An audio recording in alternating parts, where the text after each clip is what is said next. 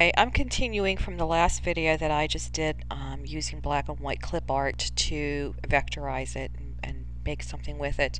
This is the same image and I wanted to show you um, if you're in the pro software some of the things that you can do with this um, just in case you're not familiar with this. Um, you don't have to leave things the way they are. I can click on this, I can click on papers and it brings up paper textures.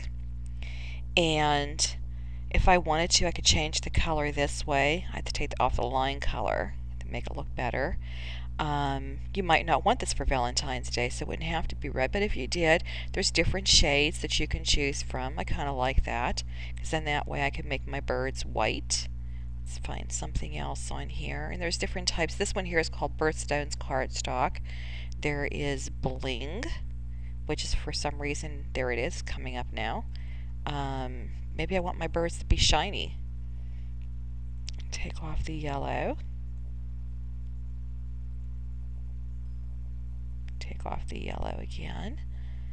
Do the same thing with this one. This one's separate. I'm trying to get that little tiny feather there. And click think my mouse is starting to go because I'm moving it and it's not moving the way I want it to. And let's make this a different color. Or maybe they make it the same color. So that's kind of pretty. Um, let's get that little line. There we go.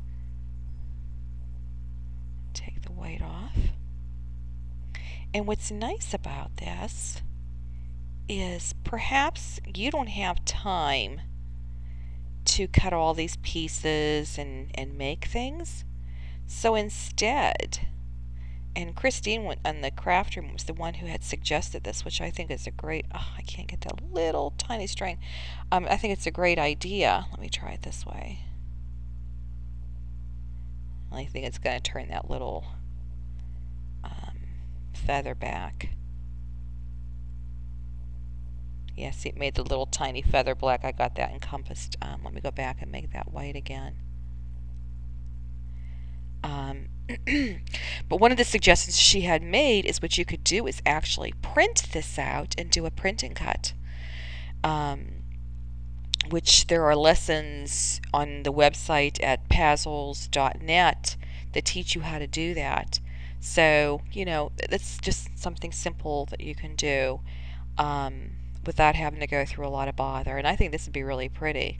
Um, you could also open this up in um, any of the art programs and you know change these and you can also import your um, your pages like if you have paper that you really like a lot um, you can actually import that in here and that'd be another lesson entirely and then you can save that and print it out and do whatever you want with it so and by do the way you would do that is to scan your paper um, into your computer.